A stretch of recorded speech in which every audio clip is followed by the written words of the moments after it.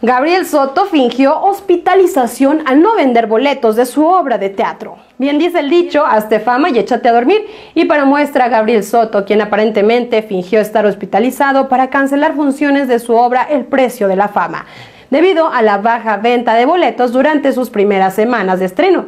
Las sospechas surgieron cuando se cuestionó el verdadero estado de salud del actor y la coincidencia con las bajas ventas. El pasado fin de semana, Gabriel fue ingresado de forma urgente al hospital por su supuesto cuadro de hipertensión y la versión oficial mencionaba síntomas como vómitos y presión arterial alta. Sin embargo, varios medios y personalidades del medio comenzaron a dudar de la autenticidad de su condición médica, relacionándola con la baja venta de boletos y su rompimiento con Irina Baeva. Últimamente Gabriel Soto ha estado en boca de todos ya que hace unas semanas comenzaron a circular unas fotografías en las que se le podía ver actuando de manera bastante cariñosa con Cecilia Galeano, obvio sin importar que aún tenía un compromiso con Irina Baeva.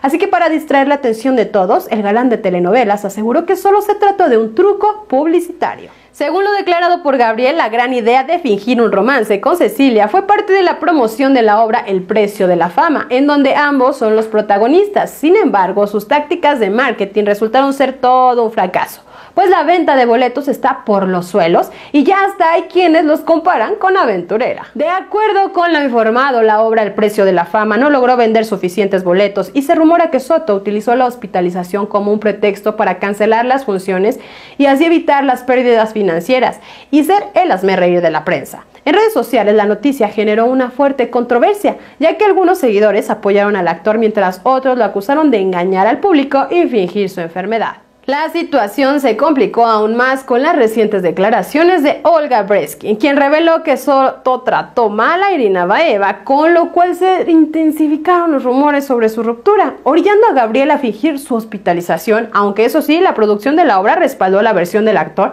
indicando que su salud era prioritaria. Aún así, varios conductores de programas de espectáculos comentaron sobre el estado de salud del protagonista de Vino el Amor, sugiriendo que su crisis pudo haber sido exagerada o incluso inventada para evitar dar funciones ante 50 personas, centrando su atención en la caída en ventas de la obra. Durante el fin de semana, Gabriel se mantuvo activo en redes sociales y hasta publicó mensajes de agradecimiento por el apoyo recibido y aseguró a sus fans que se recuperaría pronto para retomar sus actividades profesionales.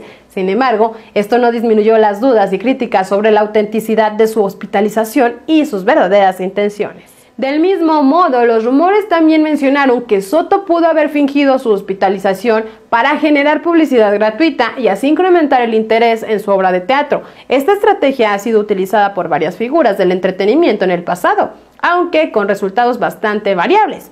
Pero en este caso la controversia no parece haber favorecido mucho a la obra. En más de una ocasión, Gabriel Soto ha demostrado ser un personaje polémico, cuya vida personal y decisiones profesionales frecuentemente generan controversia. Así que fingir una hospitalización para evitar enfrentar la realidad de un proyecto fallido refleja una falta de responsabilidad y respeto hacia su público y colegas, por lo que habrá que ver si al final su teatrito termina por ayudarle. Hasta aquí la nota de hoy, nos vemos en el próximo borlote.